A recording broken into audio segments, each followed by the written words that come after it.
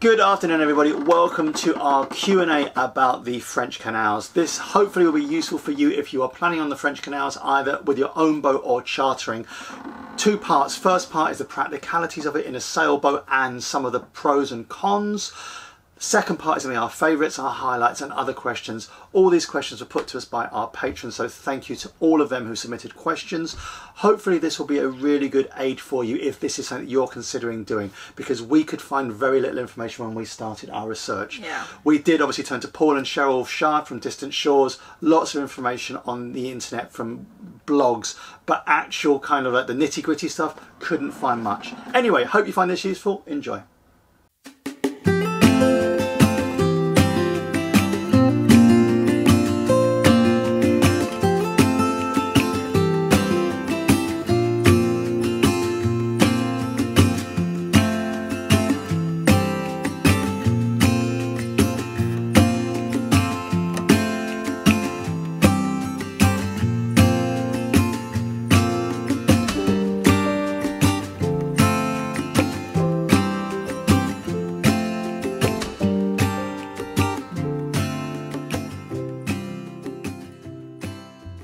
What's question one, and who's given the question? So the we of course we turn to our patrons for uh, the questions because they always ask us like the best questions that I would never have thought of myself.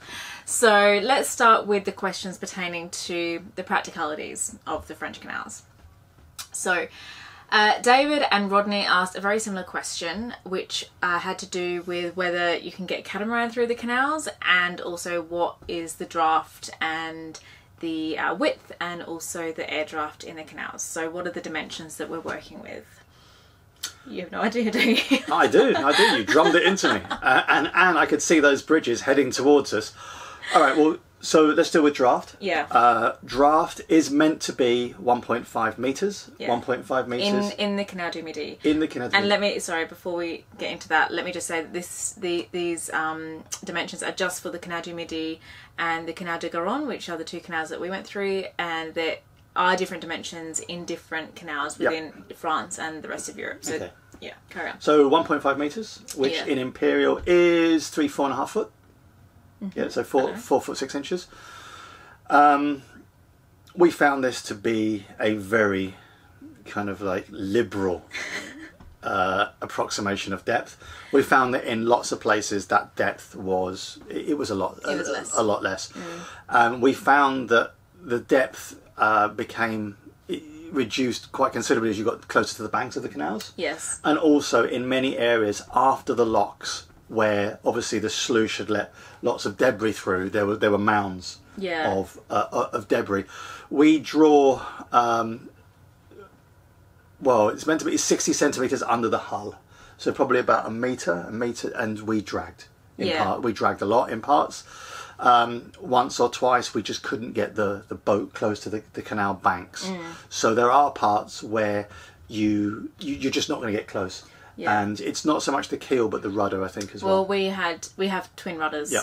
So that was an issue particular to our yeah boat. yeah But um, overall, we had plenty of water. We we only dragged a few times, and because the the um, bottom is so soft, it's just like debris and mud. You can just plow through it. yeah it's not it's not thick it's not like hitting a sandbank Yeah. you, you literally you're ju- you're slowed down and you and you can see that you're churning material up Yeah. i would consider that it really if you have a draft of 1 to 1.2 meters you're about you're gonna be all right Yeah. But I think past that, once you're looking at five foot keels, you're going to struggle in parts. Yeah. Especially in the height of summer where the canal water levels have dropped slightly.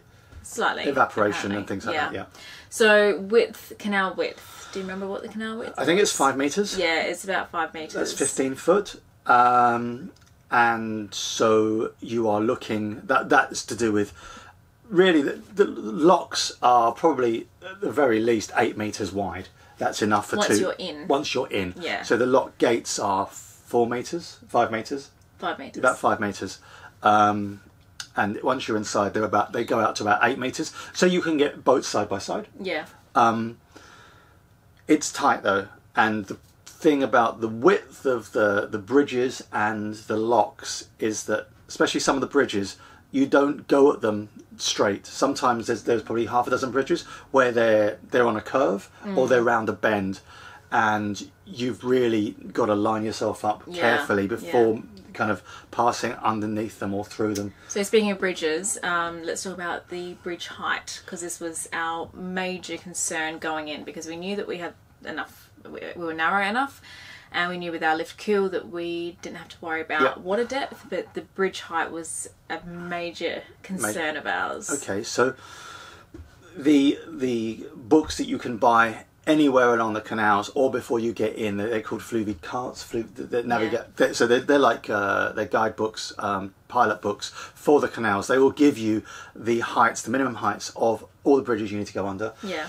In a nutshell, uh, the the lowest bridge I think was three meters twenty five. So Yeah. that is about twelve foot. I don't know why you keep looking at me. I have no and idea. ten foot, about ten foot. No, because Americans would like Yeah, to know. Yeah, well, we can we can look in- it up and put it on the they work screen in kind instead, of prehistoric, instead of you kind of like right, taking fine. time. So So yeah, about it says three meters twenty-five. That in itself isn't a problem because we were able to do the calculations for the the height of our mast above the waterline. The problem is that it's to do with how the spans of the bridge work. If, for instance, you've got a bridge that goes completely, it's five meters uh, wide, but you've got the, the, the, the span and the arch of the bridge is completely flat and completely perpendicular to the water.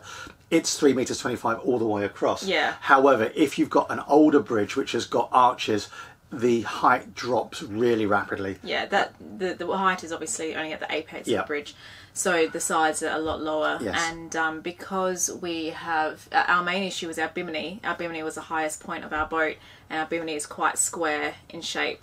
So we were worried about the, s the size of the bimini scraping, and yeah, we came pretty close. Well, uh, there was one bridge in Carcassonne. We actually took the bimini off. So this the lowest bridge, which is three meters thirty or three meters twenty five, we took the bimini off because we were worried. yeah, it was also because it had a real kind of like narrow span. It- Yeah. The, the arch was quite pronounced, and Yeah. so we would have hit the sides with the bimini. I mean, I, literally, you're, you're looking at it going, "Oh, we're going to hit something," but no, it, it worked out. So Yeah. no damage to no damage to the boat really. Um, so uh, it's perfectly navigable. If you draw, I would say, you know, if you've got a keel that's five foot or less, I would say, and uh, less than your boat is less than four meters in in, in, in width, and if you can keep the height of everything around the three meter mark, you'll be you'll be fine. Yeah. Yeah. Okay, so Jessica Williams uh, has the next question, and Jessica, you asked a lot of really fantastic questions, so your your name is going to come up again later in this episode. Um, but in terms of uh, practicalities, you want to know about canal etiquette, and your other question was about the fees. So let's talk about the fees first. How much you- you have to buy a license in order to do Yep. the canals, um, and how much was that? We paid 144 euros for one month. Um, it is less if you buy a 12 month permit. So Mm-hmm. it, it- it's, it's obviously that stat, you know the payments are, are less if you buy the 12 months. So 144 euros, not a great amount No. for the license to get into the canals. We held our license um, in digital copy. We just had a screenshot on an iPad. Um, And you can do it all online. yeah, it, it, it is really easy. Literally, Yeah. it, there's there's no jiggery pokery to it. You just get in there, uh, pay for it, and then just keep your hard copy. Uh, and we were stopped. We were stopped once inside a lock, and uh, the the éclusier came and said, "I need to see your your license," which we duly had.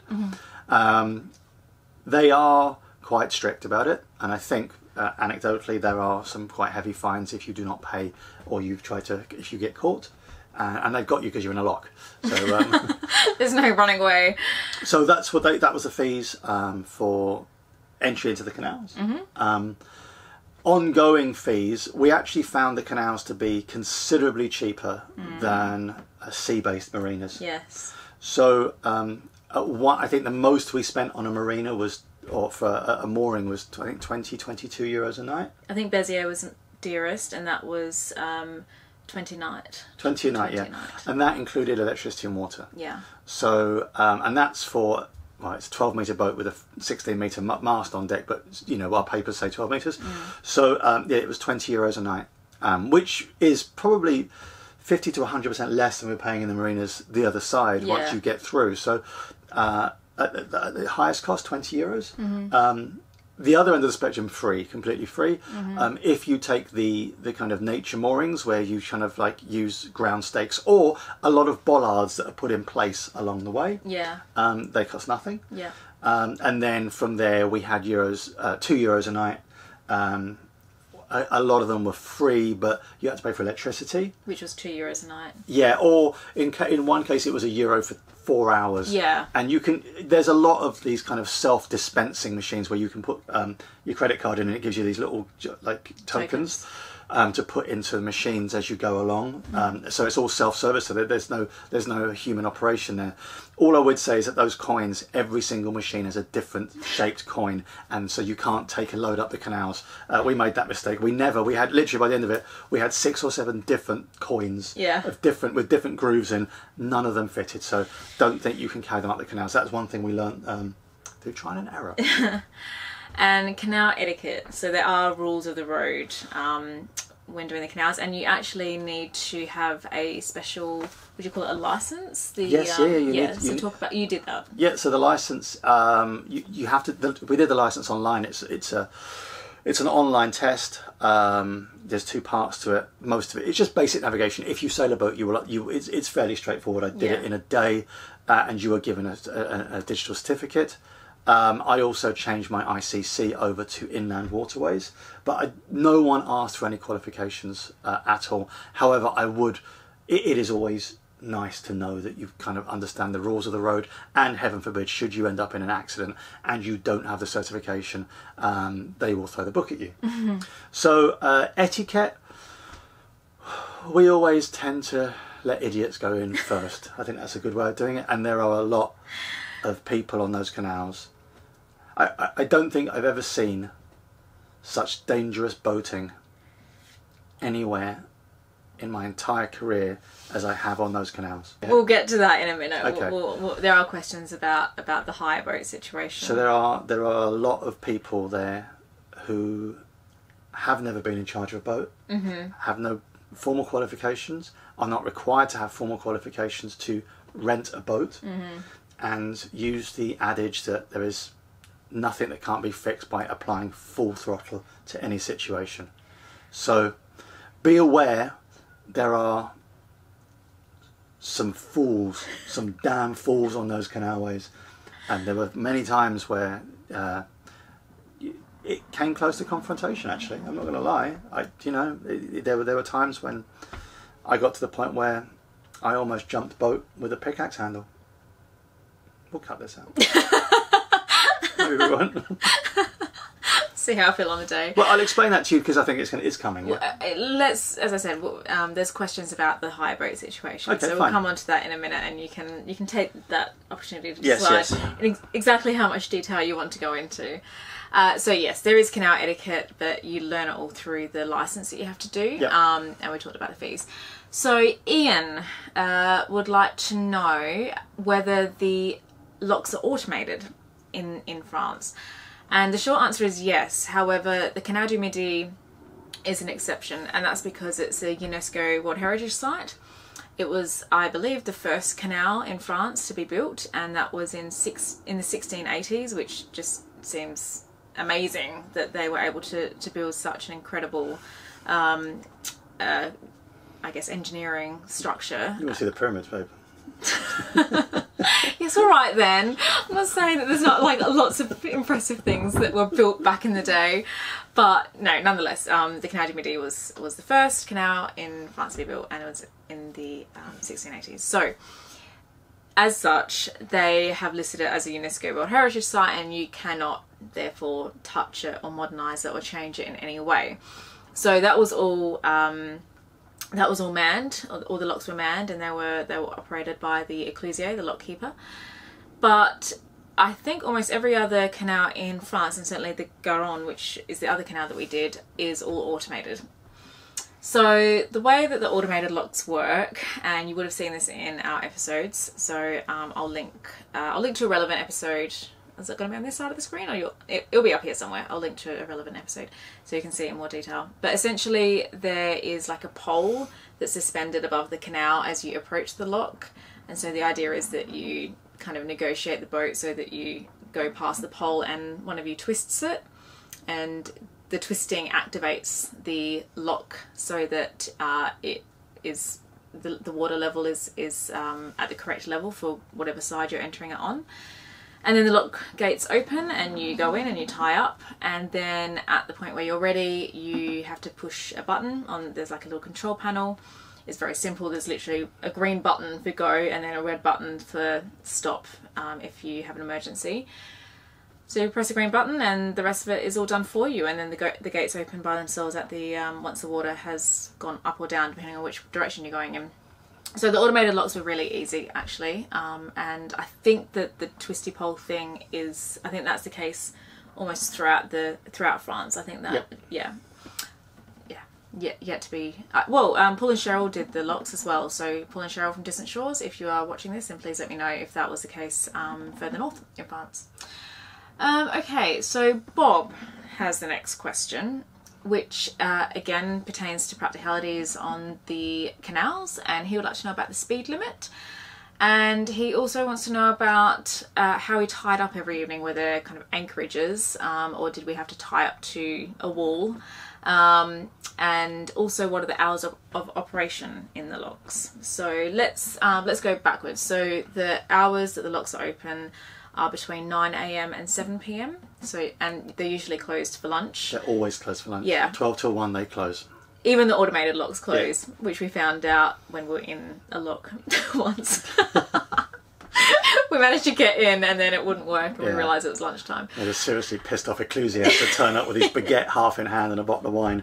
Like, and he, yeah, he was not happy. Anyway, so yeah, 9 till 7 and um, the speed limit is 8 kilometres an hour. It works in kilometres, the canals. So in terms of where we tied up every night, we've already touched on this. Nick, why don't you pick that up? Well, you can take. Uh, there's there are a lot, a, a, a huge amount of moorings that you can you can pay, take up uh, in villages, and they're normally serviced with electricity and water. They normally have bollards and dock walls that have uh, good depth up until the dock wall. And we found that we travelled through in in June. Uh, we never struggled to find uh, a mooring. No. We never. There was one exception where I think if we'd got there after five p.m., we wouldn't have got a mooring. But generally, Where, where, are you thinking, where are you thinking of? that place where all those boats turned up was it Bran? Oh, yeah. Yeah, that's true. But so generally, you can find a mooring everywhere. Um, the higher boats don't have gensets and therefore are very reliant on shore power. Um, so they can't. They, and I think they do that obviously to stop people blowing the boats up, and also so that they they the, the higher boats tend to go to places that are serviced. Yeah, and they also tend to go to other bases. Yeah, so 'cause there'll be high cheap. base here, Yeah. a, a base, a base here, and then twenty kilometers down the Yes. canal there'll be another base. So they tend to go between the bases. So yeah, Um, and then the nature moorings, you can moor almost everywhere. There are very few areas that you can't moor, and they are clearly signposted. It says no mooring between with for 600 meters or 800 meters or whatever. Uh, and you literally just approach the bank. You need to make sure that there's no debris in the water, no roots in the water, and then normally we would nose the boat, the nose of the boat into into the um, into the bank. Terysa would jump off, and you know you you just you use ground stakes. We bought some fairly heavy duty uh, tent pegs, but they were big. I mean, like they're 14 inches long. They weren't good enough. Then we ended up uh, buying some fork handles, um, and they worked once they'd been sharpened.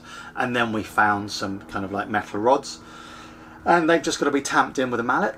Um, you can't tie up to trees. If you tie up to a tree, they do fine you. Um, and it, it's not. It's beautiful. It is beautiful out there. Yeah. You know, you're very self-sufficient. There's lots of shops along the way to provision. So spending a couple of three nights just in the middle of nowhere, not seeing another boat, is a real spectacle. It's a lovely yeah, thing to do. yeah, yeah. Okay, so the next question, uh, both Stuart and Robert had a very similar question, so I've put them together. And again, it goes on from what we are just talking about, uh, which is how was the availability of fresh water, pump out facilities, uh, baguettes, etc. How available was stuff on shore, um, such as supplies and whatnot. So we've already touched on that. Um, everything was very readily available, and I'll add uh, diesel and pump out facilities to that list as well. There wasn't a lot of pump out facilities. No, but the pump out facilities and uh, where you can get diesel, they're clearly marked on your guidebooks, so you can plan quite well in advance where to go to if you need diesel, if you need to, um, ha- you know, get your, your holding tank pumped out. Um, so yes, everything was very available, very readily available. I would say that our bikes came in handy a lot because we were able to access the larger supermarkets, which Yep. are usually situated just outside of town. Um, however, if you don't have bikes and you've just got your own two feet, then everything's so easy to get to. The towpaths along the canals, obviously, back in the day, before engines, they used horses to drag the boats or the barges along the canal. So there is a towpath there for that purpose. And they've been converted now into either just walking trails or bike paths. So it's easy enough to walk up and down the canals um, if you need to. And everything, I mean, is France. It's not, you know, the middle of the desert. It's it's there are villages every few miles, and every village has somewhere to buy a baguette, um, somewhere to buy a bottle of wine, and usually somewhere to buy some cheese and fresh fruit and whatnot as well. So everything everything's very easily accessible. Yep, absolutely. Right, so the next question is a question I'm very glad that was asked because um, this was our major uh, kind of consideration before going into the canals, which uh, was asked by Simon. And he wants to know about the mast. The mast was a big deal. It was a big deal. Uh, so he wants to know about the pros and cons of carrying it on deck um, and or versus transporting it by road and whether the overhang posed any difficulties. Okay, so let's just deal with transporting it by road. There are one or two companies that can transport. Fastmast is one of them, and there's another one, I can't remember who it was. They were unable to transport our mast. We were in contact with them, and they are really good. I think he's a he's a chap's a German, but he's very, you know, his English is fantastic. Um, but literally, they came back to us a week beforehand and said, "Look, we can't do it now. We've got a special order job up in Denmark, and we've only got, you know, we we can't get there for three weeks." So that you know that for us meant either staying in the Mediterranean for three weeks or or doing our own mast. So very short notice, uh, we had to decide to carry our own mast. And I would say that there is a limit to the length of mast they can carry. So I know that Paul and Cheryl, when they tried to use uh, fast mast, their mast was over the length that they could take. So just check with them beforehand, well beforehand. But overall, I found the the service of fast mast to be good. You know, Yeah. apart from the fact they couldn't actually transport our mast, all the communication was efficient. Yeah. And and by the way, they quoted us a thousand euros Yeah. to to transport. So it's about a thousand euros. The downsides to that is obviously you have to leave your mast in the hands of someone and expect them to transport it to somewhere and receive it. and then put it up on um, Yeah, in a safe place. or something somewhere safe So the two places that we went to, one was Priac um, for on the Atlantic side. on the Atlantic side and um, Chantier on the Mediterranean side. I would recommend both of those, uh, the, both of those uh, Boatyards. boatyards for doing the work. Uh, the one on the Mediterranean side, Chantier Allemagne, he was he's uh, they're a family run business. Um, fantastic, like such a professional like, bloke. Uh, Pauillac, they were good, but not as good as uh, the other place. Henri. Henri. So, but recommend it. But you hmm. need to know what you're doing yourself. It's not a question of saying take my mast off. You have to do all the preparation yourself. You have to label everything yourself. You've got to get everything sorted out beforehand. Yeah. That includes you know, obviously building your frame, but you know loosening your turnbuckles, making sure that everything's greased, taking the split pins out, and then kind of arranging with the because one of my concerns beforehand was are they just going to get the mast and put it on the boat you know drop it onto the into the cradle in both cases they were happy to leave the mast somewhere for a day or or half a day for us to do the work with things like the VHF area and the spreaders. So that was a concern of mine. And it was unfounded to, to be concerned about that. Carrying the mast the overhang you need a, you need buckets on both ends. You do need buckets. Um, what we did is we took um, in one case we bought two buckets and knitted them to sliced a bit out of both and then knitted them together with cable ties to make a very kind of oval shaped bucket in profile because it wouldn't fit over the uh, over the the top end of the mast. Everything was taken off that mast um, so all the all the equipment at the, mast head so lights VHF aerials TV antennas we also um, after advice took took all the took the spreaders off, took the shrouds off, um, took the shrouds off the spreaders and cable tied them into coils and put them in the fore cabin. And one thing that I would say is that you see some people carrying the the furler um, and the furling drum with the furling drum over the end of the mast. I wouldn't do that. Uh, we completely disconnected ours and slid it along so that the mast foot was the first thing that was um, that could uh, that was that was that would impact if we were to impact, because the problem is that you know if you've got a foil attached to your um, attached to your forestay um, for a furling mechanism for so, so, so, so kind of a, for the, the luff groove to go in for the, the foresail. If you bend that, it's done. And if so, the you know wire will bend, but your the, the foil of your forestay when it's bent, you, you know you've got a problem. So we slid that all back about a foot, so that the furling mechanism was a foot behind the Yeah. the, the, the, the, you know the, the further for, the foremost part of the mast Yeah. Um, aside from that, the cradles, it literally it's just a logistical job you have to do with um, the shape of your own boat.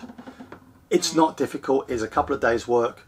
Um, we found, you know, we there's a few people on the internet when we did that saying, "Why aren't you using a Japanese skill saw?" and I'm like, mate, like in in the one week that we were given to prepare this, we had to find uh, a, bri- a bricolage, and in small towns, Yeah. you're not, you know, you don't have a Lowe's or a Home Depot. You are literally going into a place the size of this boat and seeing what they've got. Yeah, And we so- only have our own two feet. Like, Yeah. there's only so far we can roam to find uh, the, the bits that we need. What I would say is that a lot of people that we did the, when they did this, the research on this said that if you know you're going to do this and you're going from your own home, build the frame before you leave. So you've got all the tools. However, even disassembled, that frame took up a lot of space on deck. So it's not difficult to build. You need a saw, you need some basic tools, and a drill, and, and you know some coach bolts and wood. Lots of string, lots of uh, cargo straps as well. Um, those things were an absolute boon because you can really tension them up against bracing points on the on the deck, and so um, don't just use lines Yeah, use you can't get them. you can't get them tension. enough, So yeah. you use cargo straps fore and aft um, and to port and starboard. You know, so that there's no movement in that thing at all. And that to us, I think, was one of the biggest hints and tips I could give you. Go and buy 10, 12 cargo straps because you, they're so versatile. Mm. You know, two frames. I think we had four four cargo straps on each frame, and then a couple just tying the, the entire mast down. So yeah, that's that's pretty my hints and tips from it. There's no point in going through the actual design of our frame because it's so individual to every boat. Mm. Yeah. We did um, obviously make an episode about our entire preparation, um, which I would have already linked to up the top again. Um, okay, so on to the next question, uh, which is from Mark, and he wants to know whether it's similar to England where people live on their boats uh, along the canals.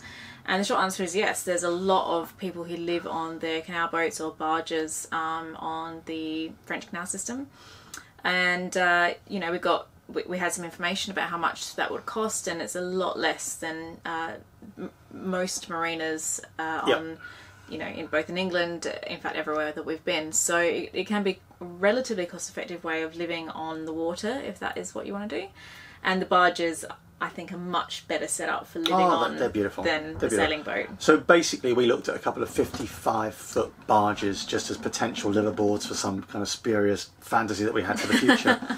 so 50, you know, various p- mooring costs. We got between a thousand and three thousand euros a year uh, for mooring, depending on where you were. Bear in mind though that the Canal de Garonne and the Canal de Midi are closed, or they were closed last year for three or four months.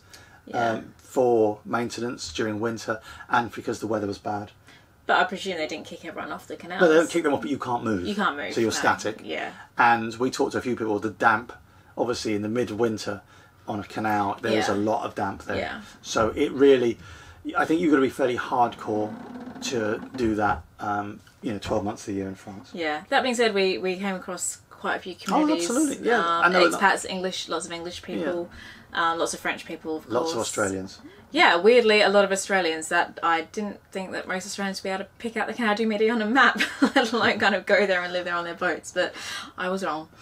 Okay, so on to the next question. Um, again, uh, Jose and Glenn both had uh, very similar questions, so I've amalgamated them into the one. Sorry about the creaking behind us, by the way, if you can hear that. It's just one of our lines. My knees. it's my neck every time I turn my head. No, it's just one of our lines creaking. Um, okay, so both of them want to know about renting a canal boat um, to do a holiday on the French canals. Um, they asked about price. I don't know about the price. Actually, or do I? I do we know I, about I the think price? I do. Yeah. Like, well, I, maybe I don't.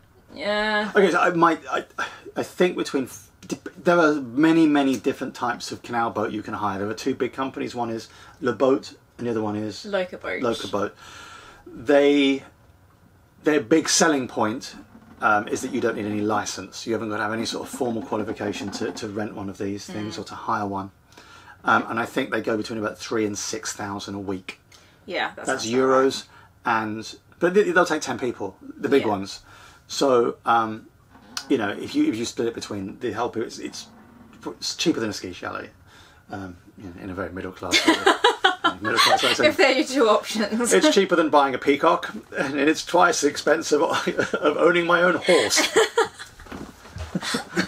Anyway, moving swiftly away from stables, peacocks, and chalets. and chalets. Um, so yeah, it's it's kind of on par with a an With chartering a, another type Yeah, chartering boat. another yeah. boat in the BVIs or something. Yeah.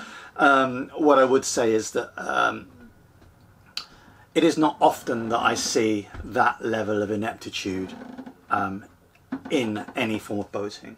I mean, literally, you could go to like an Australian bucks party, get them all hammered, and put them out on a boating lake, absolutely caned, and you'd get better sailors. Caned. Yes. That's a good Australian word that you very rarely say. Anyway. Yeah. So um, we have seen some shenanigans that, uh, at one level, just warranted a head shake uh, and a tut, and at another, the other end warranted a pickaxe handle to the bracket. You know, th- th- seriously, the level of incompetence was stunning. Yeah. And we talked to a lot of lock keepers on the way, and they're like, I'm like, what is going on? Literally, it's like those scenes where you get the clowns turning up in cars where the wheel falls off and there's one kind of hanging off the back with a like a hose pipe, you know.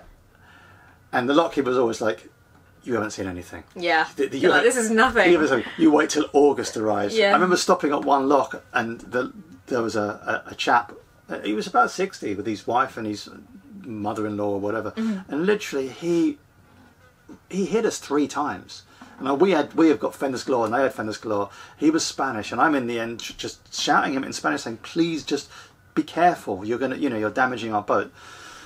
And then, he, in the end, I yelled at him so much. I said to the I said to the lock keeper, I said, "Look, because we were all crammed into a lock." Yeah. I said to this this girl, I said, "Please, that he's he doesn't know what he's doing," and she held him back. They actually because we were on a, staircase lock, and I think she could see that he was just dangerous, and she said, "Don't worry, we'll, we'll just hold him." And then you've got twenty minutes. You got twenty minutes ahead of him. Yeah, I mean that is the good thing about the Canal du Midi about the fact that all the locks are manned is that you do have the Canal du Midi. By the way, is I think the busiest canal Yeah. in France. Um, but you do have that support there if you need it because um, if you were just in the automated lock and you had a problem person behind you, Yeah, but they, they then there's nothing you can do. There's no one yeah, there to They arbitrate. And we see. I mean, and during this conversation, I said to the lockkeeper, "This this is bad," and he said, "You know," and he goes, "Look," he said, "This is this sounds like a joke," but he said, "Look, th- there's two boats sinking back there, and there's a boat on fire up there." So he goes, "We're having a good day," and the level, the so. The, the, the biggest worry was not the lock walls, it was other boaters. Uh, we got hit by another boat quite seriously, actually. Some girl who was in her 20s.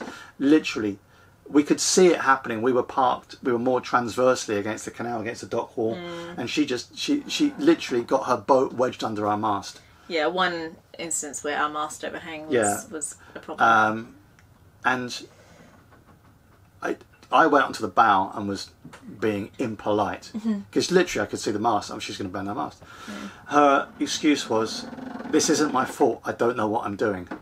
And I'm like, "All right, well," I said, "Look, just park your boat up and we'll discuss insurance."